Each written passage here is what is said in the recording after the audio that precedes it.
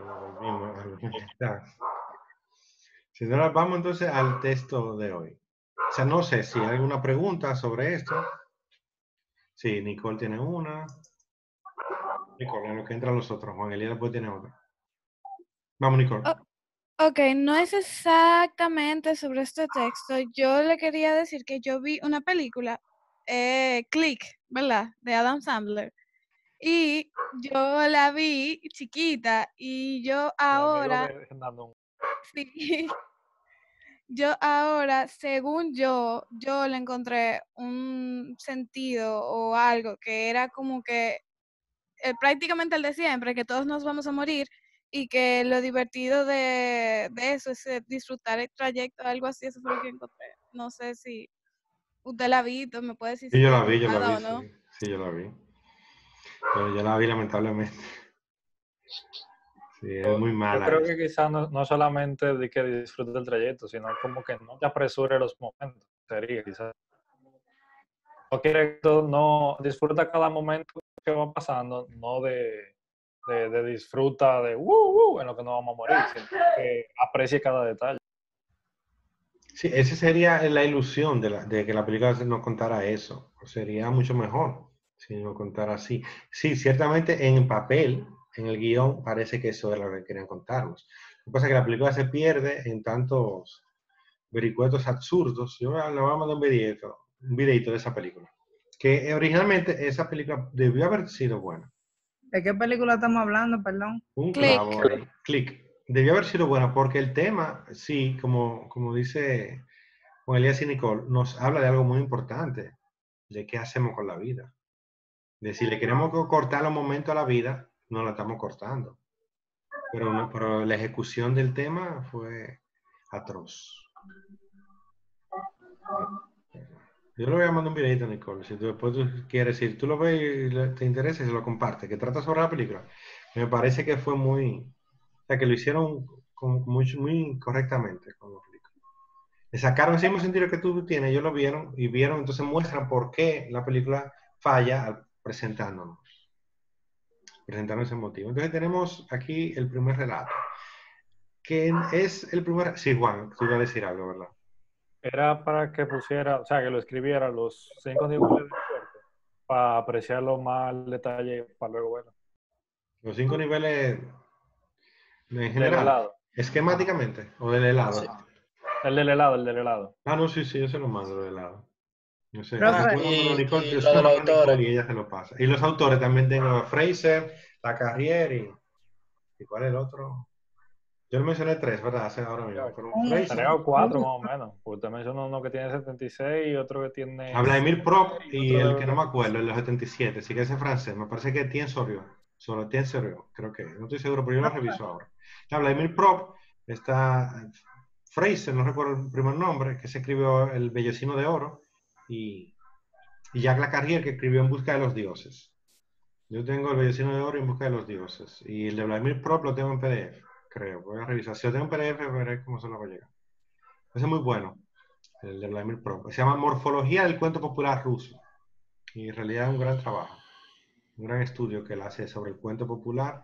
Y entonces, ¿cómo tú puedes? Hay un alemán, ahora que lo recuerdo, eh, que también ese, ahora voy a buscar ese alemán. Un alemán que hace. Ese, ese el alemán yo lo tengo también. es el más aburrido de, de los libros. Como el más difícil de leer. Pues para él además se queda con estudiar desde lejos, pero no sabe que lo más interesante de las historias es que convenzan. Entonces tenemos esta historia egipcia que convence mucho. ¿Quién, quién la vio? ¿Quién no la vio? Yo vi las fotos. Yo leí pues el relato de... Yo leí. Yo, yo leí el relato. el relato. Sí, pero vieron la foto. A ver, eh, Jorge. Jorge, Jorge entró. Sí. Jorge, ponla para ir bien hablando de ellas. Un poquito. Y entonces vamos a ver los cinco niveles, de dónde fue que lo sacaron, etcétera. bueno, eso nos salió otra cosa. Tenemos esta, esta imagen, está de los... literalmente en una tumba. Eh, Aunque esta no es una pirámide, es de una ma- mastaba, creo que se llama. Son las pirámides más pequeñas que están en Egipto. Sí hay una que son de, de la pirámide, después la vemos. Están en la tumba de los reyes. Aquí está Ra, que tiene su máscara de carnero, tiene la imagen del sol y el rayo que lo protege, que lo distingue de todos los demás.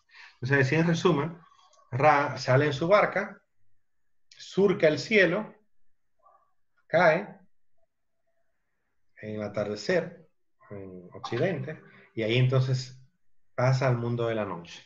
Deja el mundo de los vivos y entra al mundo de los muertos. Sigue con la siguiente imagen, que es de Ra en otra tumba. Esta es más antigua que la anterior. Es de las pirámides, de las tres pirámides. No recuerdo cuál es. Esta sí es de las pirámides. Y miren que es mucho más esquemático el dibujo.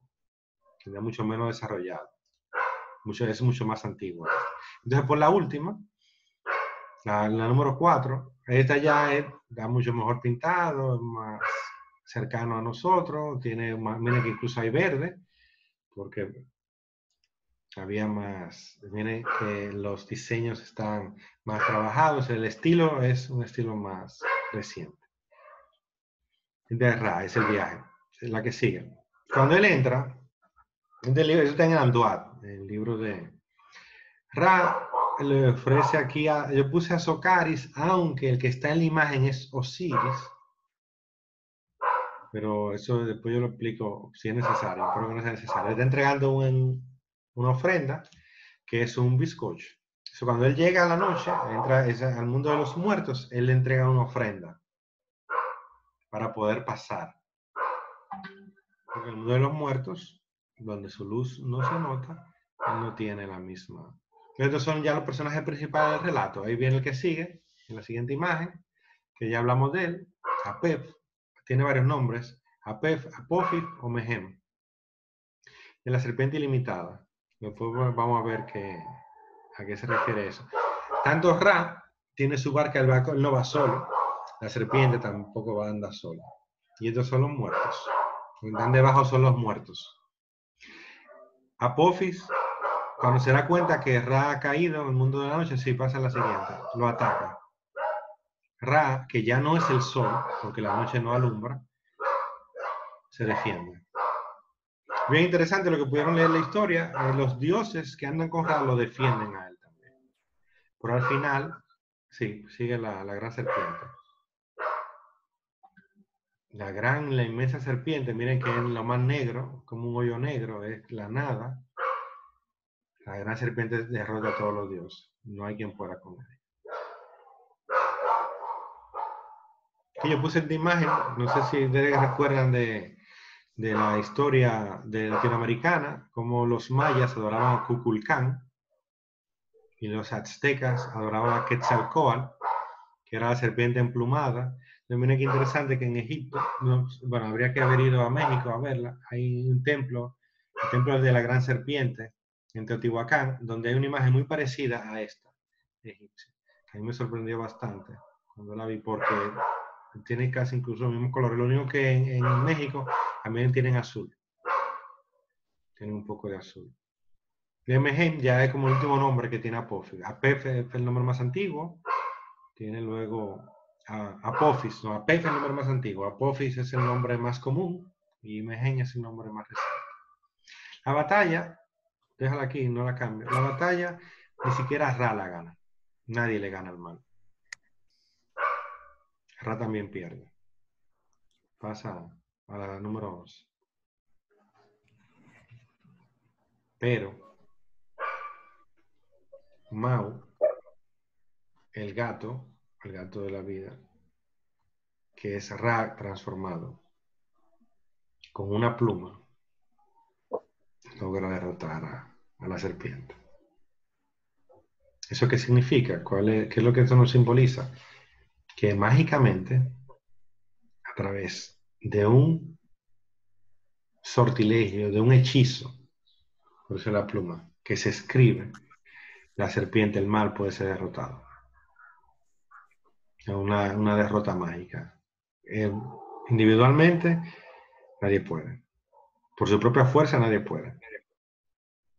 el gato, Mau, con un hechizo, sortilegio que parte del hechizo está ahí, había que aprendérselo, en la religión egipcia había que aprenderse ese hechizo, para, y había un culto en el cual todas las personas llevaban el hechizo ayudando a derrotar al mal. Entonces, la figura del mal es esta serpiente que está envuelta en el árbol de la vida y en la más antigua de todas sus representaciones, el número 2, aparece entonces quién está detrás de esta serpiente. Detrás de esta serpiente es Okari. Miren qué interesante esta imagen, una de las imágenes más poderosas de la cultura. Tiene milenios usándose. Está. El primer enemigo tiene tres formas. Uno es la serpiente, otro es Ocaris, aquel traidor al cual Ra cuando llega le ofrece un, presente, pero como quiera, el que está detrás de todo, miren, son ojos del mar. Tiene esa, esa, esa figura. Miren qué interesante que Apophis, en su versión más antigua, es una serpiente con patas. ¿A qué le recuerda eso? La. A la Biblia. A la historia de Génesis. Historia de Génesis donde la serpiente con patas va y engaña. Entonces, este, esta es la primera imagen de lo que luego en Occidente nosotros llamaremos Satanás. Miren que es una estrella. Miren que ataca la cruz. Una serpiente con patas que vuela. O sea, también es un dragón. Y es también una fuerza oculta detrás de todo, influyendo, haciendo mal, haciendo daño. Profe, ¿usted se ha puesto a pensar en los cinco niveles de la Biblia? Repíteme, Diego. Que si usted se ha puesto a pensar en los cinco niveles narrativos de la Biblia. Sí, claro. pero yo pienso mucho. Pero vamos con, con esta, no que vienen esos niveles, miren cómo, cómo era que se contaba esta historia. Esta historia está en los en las tumbas egipcias. Hay sarcófagos de faraones que la cuentan entera. En el sarcófago se le dibuja el sarcófago, sobre el sarcófago la historia. Porque es la historia más importante que se podía contar en Egipto, porque era una historia de vida o muerte. En los tres primeros niveles de la historia su anécdota, su drama y su significado se contaban en la pirámide, en el edificio. Luego, si tú ah. querías conocer más, tenías que bajar de los niveles superiores y bajar. Entonces, el primer nivel, el cuarto nivel era subterráneo. Literalmente, para conocerlo había que bajar. Y el nivel más profundo, el nivel más secreto de todos, estaba en una cámara que no fue sino hasta el año, no me acuerdo el año, hasta el siglo XX en que se descubrió la entrada a esa cámara, la Cámara de los Reyes. Y para entrar a esa cámara había que graduarse de la religión en OM y muy pocas personas se graduaban de esa religión que podían encontrar el quinto nivel, el nivel mucho más profundo. Entonces estaban en la pirámide, los tres primeros niveles se contaban arriba. El nivel subterráneo había que descender para contarlo y el nivel más profundo era una cosa que literalmente eh, no se sabía ni siquiera que existía. Hasta el siglo XX que descubren esa Ahora, bien interesante como la historia, algunas leyendas contaban que algunas personas habían podido entrar y conocer ese nivel. Entre ellos Alejandro Magno, Julio César y en el siglo XX Adolfo Hitler. En el siglo XIX, Napoleón. En realidad Napoleón entró a finales del siglo XVIII, cuando conquista Egipto, que fue una de sus primeras conquistas. Entonces, todos ellos, está la leyenda de que pasaban una noche en la Gran Pirámide.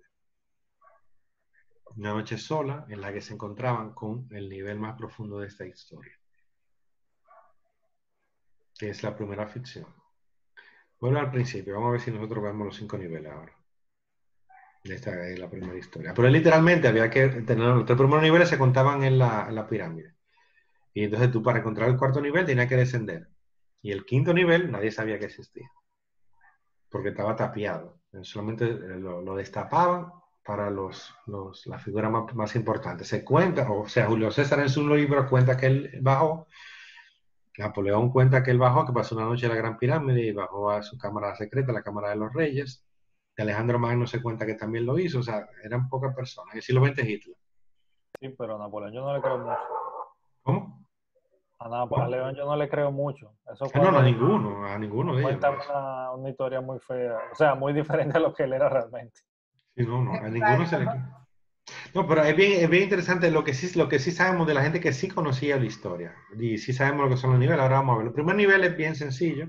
La anécdota cualquiera me lo puede repetir. El sol sale, lo vemos todos los días, pero también se acuesta. ¿Qué pasa cuando se acuesta? Entonces los egipcios tenían un mito para contarnos qué pasaba cuando se acostaba. Se acostaba y se enfrentaba con los seres de la oscuridad que no querían que él ganara. Entonces ahí estamos contando la lucha de qué?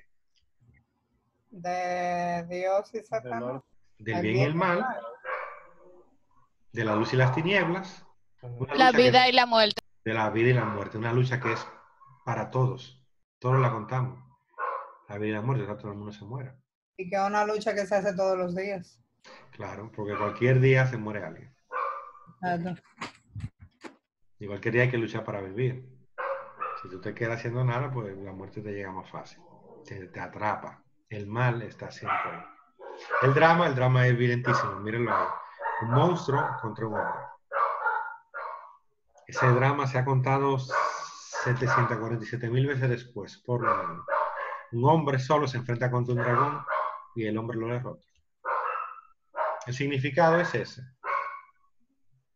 La vida no puede vivirse valiosamente sin lucha, sin esfuerzo. Si tú no tuvieras de fuerza, tú no lo estás viviendo. Si tú crees que todo va a ser fácil, no lo estás viviendo. Ese es el significado. Puede haber otro, de bien y el mal. Hay uno bien interesante que me han dicho a veces algunos de los chicos, que es más fácil cuando estamos presencialmente, creo. No aburrido, lo lamento. Yo quería que fuera más, más interactiva y en la clase y proyectando las imágenes y preparan y eso.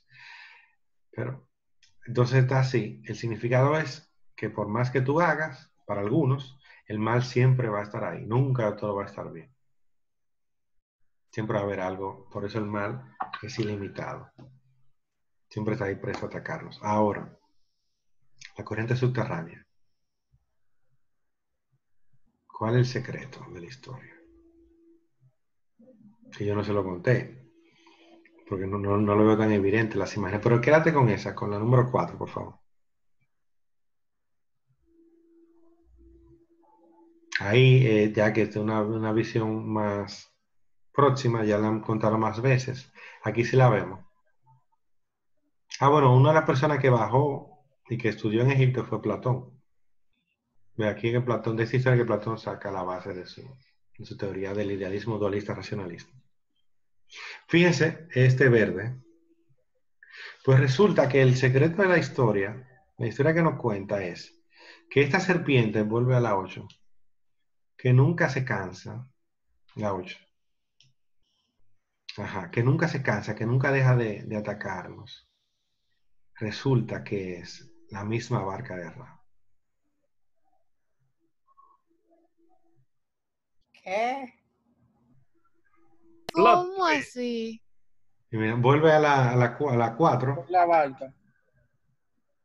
viene en el verde. es- no se nota tan bien, pero es una escama.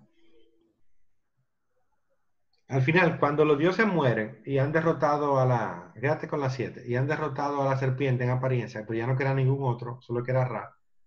La serpiente muere, pero su barca se convierte entonces de nuevo en la serpiente. Por eso la serpiente tiene varios nombres. Y entonces ataca ya a Ra indefenso, solo, sin ayuda. La serpiente lo ataca, que es su propia barca. Por eso lo hace a traición. En el momento que ¿Cuál es el sentido de eso? O sea, ahí viene, el sentido era, era el más difícil de encontrar y eso no se lo decían a todo el mundo. Pero cuando se lo decían, por ejemplo a Platón, hay quienes dicen que a Moisés también. Moisés sí es cierto que estudió bueno, no es cierto, pero Moisés relato nos cuenta que sí, que él era príncipe en Egipto y que él fue enseñado en toda su sabiduría, en todos sus misterios. Y la- las historias de los judíos cuentan que sí, que Moisés llegó a ser muy alto en la corte de Faraón y cuando llegó a conocer estos misterios. Pues miren qué interesante. Ra es el sol. Ra es la luz. Ra es una estrella. Ra es lo que más brilla. Y su barca lo que lo lleva, lo traiciona. Y lo lleva a las vicisitudes de la muerte. Lo deja que pierda toda su luz. ¿Qué historia es la que nos está contando? eso? ¿Cuál es la historia universal que nos cuenta? La caída de Satanás, de Lucifer. Aún más atrás que es. Para nosotros. En el- por eso yo pongo a Soscari al final. porque Si tú pones a Soscari al final o al mismo Mau, pues ya tú estás hablando de- del tema bíblico. Del árbol de la vida, la serpiente en el frente del árbol de la vida, etc. Eso, Pues Ra es el sol y su barca lo traiciona y, apa- y lo apaga. Eh, nosotros, traicionando a Dios. No, porque antes de, de Satanás, o sea, nosotros todavía no estábamos ahí. Bíblicamente hablando. ¿Será que el mismo Dios que nos trae a la vida es el que nos mata?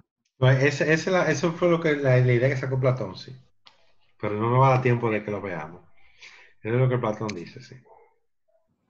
Pero podemos sacar una historia que es aún más universal que es. Yes.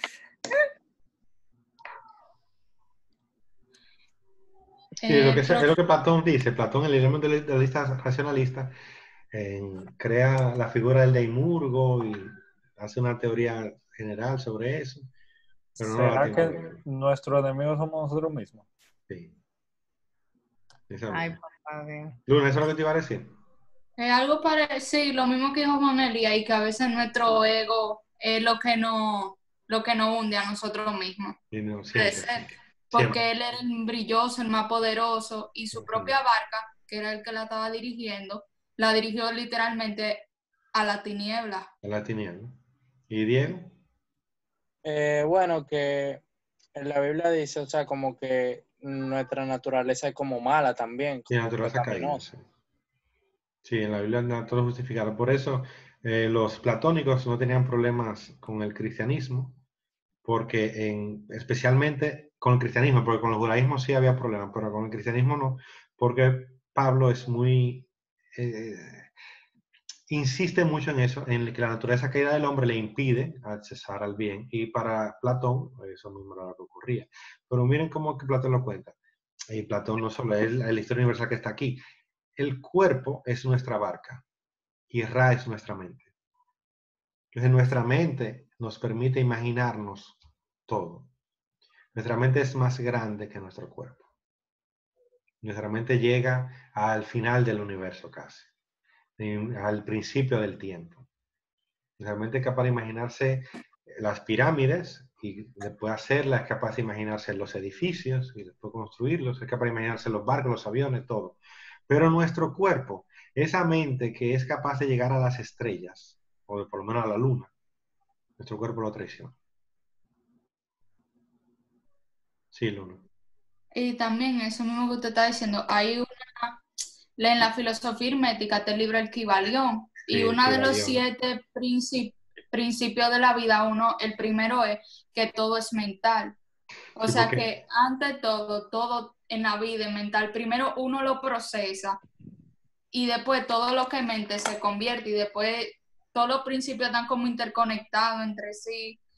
Sí, porque Hermes Trismegistus, el autor del Kybalión, es el, fue uno de los que fue a la, a la Gran Pirámide también a graduarse. Y se supone que va, descendió a la Cámara de los Reyes. Que ahora no contaba en esta parte de la historia para el final. Entonces, nuestro cuerpo, nuestra mente nos lleva al cielo y nuestro cuerpo a la tumba. Nuestro cuerpo nos traiciona. Miren ahora cómo lo tiene cerrado, en la fragilidad de nuestro cuerpo. Porque un, una- un virus microscópico capaz de llevarnos a la tumba. Nuestra mente puede hacer lo que sea en la mente. Nuestro cuerpo no nos deja. Y eso, pon la número 8. La número 6. La 8 la vimos, la 6. Y eso siempre pasa. No importa qué tan lejos tú llegues en la vida, tu cuerpo te va a traicionar. Tú puedes ser Napoleón Bonaparte, el hombre más poderoso de Europa. Y en un momento tu cuerpo te va a fallar. Tú puedes ser Hitler, uno de los hombres más poderosos de Europa. Y tu cuerpo te va a fallar. Tú puedes tener los mejores equipos del mundo a tu disposición. Puedes tener todo el dinero del mundo a tu disposición. Y en un momento llegará en el cual tu cuerpo te falle. Puede ser la mejor mente, Mozart, la mente más eficiente en música. Y se murió como, y lo enterraron como enterraron a todo el que se murió ese día. En estado de putrefacción. Avanza, más o menos avanzado, pero en estado de putrefacción. Tú puedes ser la persona más hermosa. Si te mueres, te pudre. Si te dan un balazo, se te desfigura la cara. Con una navaja te pueden hacer una, una sonrisa que no se te quite nunca y perder la sonrisa bella que siempre tuve. Es el quinto nivel de la primera ficción jamás contada. No importa donde tu mente te pueda llevar, tu cuerpo te va a traicionar. Es el, es el inicio del pensamiento trágico, que luego echa raíz en Grecia. Platón lo estudia, lo teoriza y Platón lo saca de la religión y lleva a la, filosofía, en el idealismo egoísta racionalista. Y esa idea la tenemos, es lo que hoy la corriente filosófica principal es el positivismo. Una corriente que dice es que el mundo como tal nos va a traicionar. Que nosotros tenemos que cambiar el mundo, modificarlo, transformarlo y superarlo. Por eso los templos del positivismo son las fábricas. ¿Las qué? Las fábricas que transforman el mundo. Y es esa influencia filosófica que se ha transformado en una influencia económica, que es una influencia política, porque el movimiento, aunque al revés, el capitalismo surge primero que el positivismo, pero el positivismo es el que le da sustento teórico. El sustento teórico del capitalismo se llama el neoliberalismo.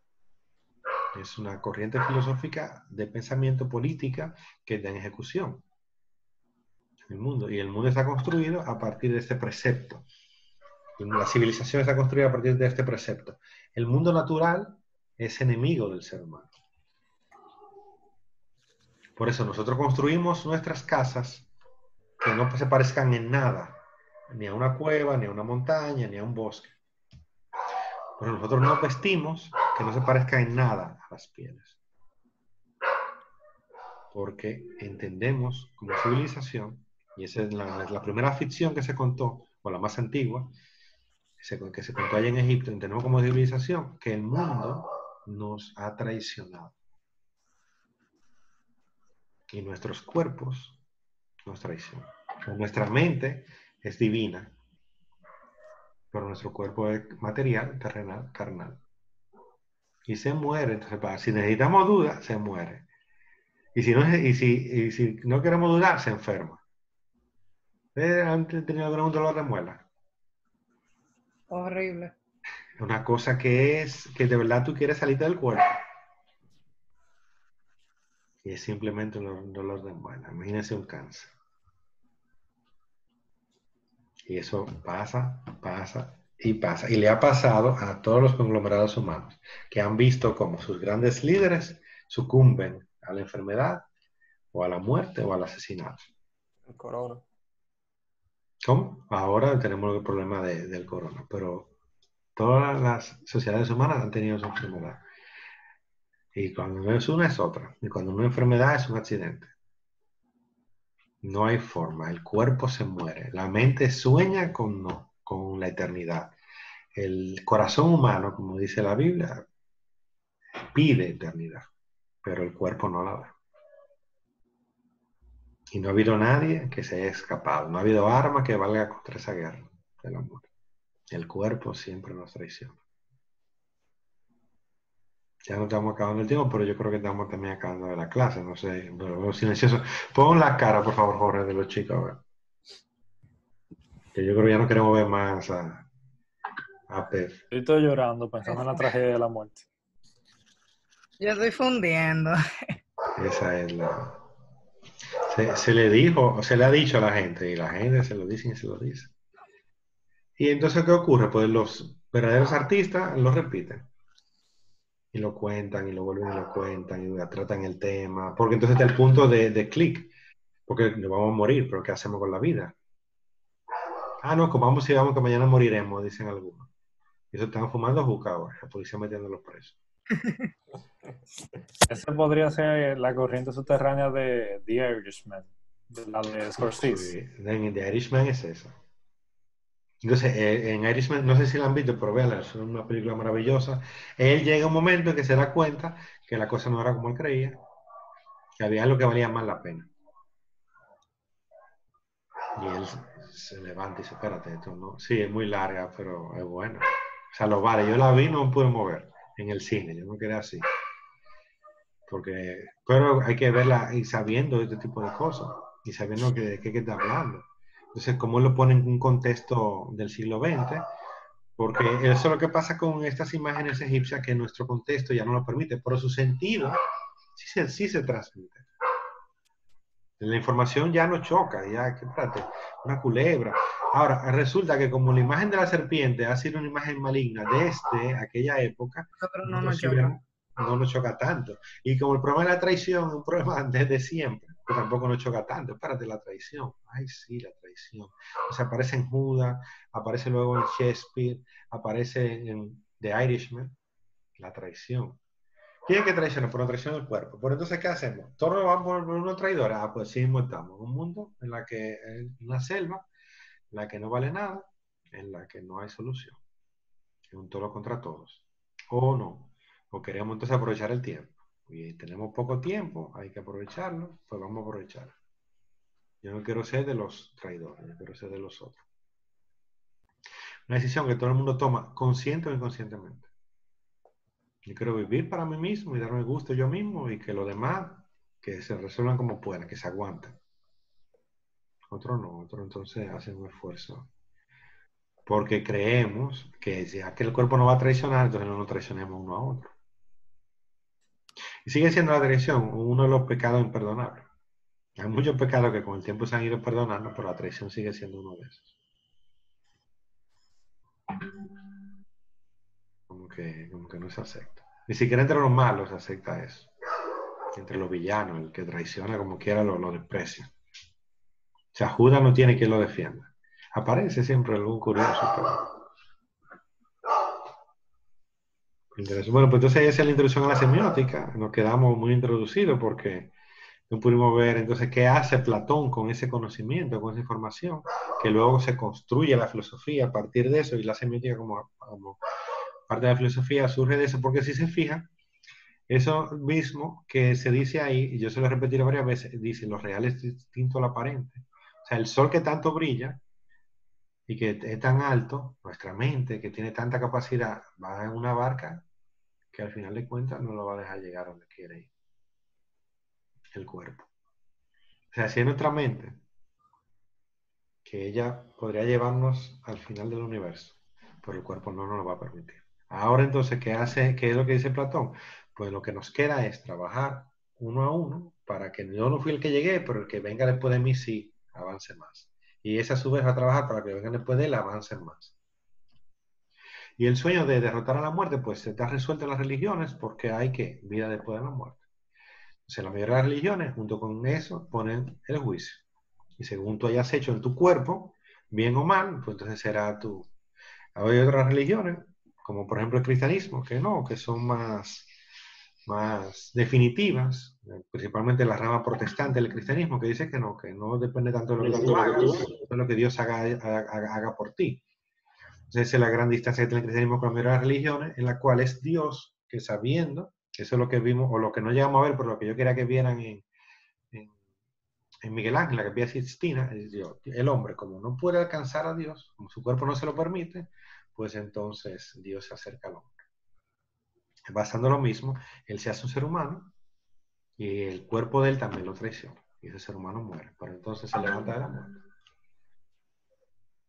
Y él rompe el ciclo. El ciclo de la serpiente que se movía siempre y no dejaba que limitadamente. Ese es como el gran aporte del cristianismo al pensamiento humano. Como la solución no es humana porque el cuerpo a todo el mundo lo traiciona, bueno, entonces Dios resuelve eso y hace ese paso. Luego vienen entonces religiones, las religiones posteriores que no han podido superar al cristianismo en ese sentido, se cuentan el, la religión posterior me refiero a la nueva era, que entonces toman tomando cosas de un poco, un poco de aquí, un poco de allá.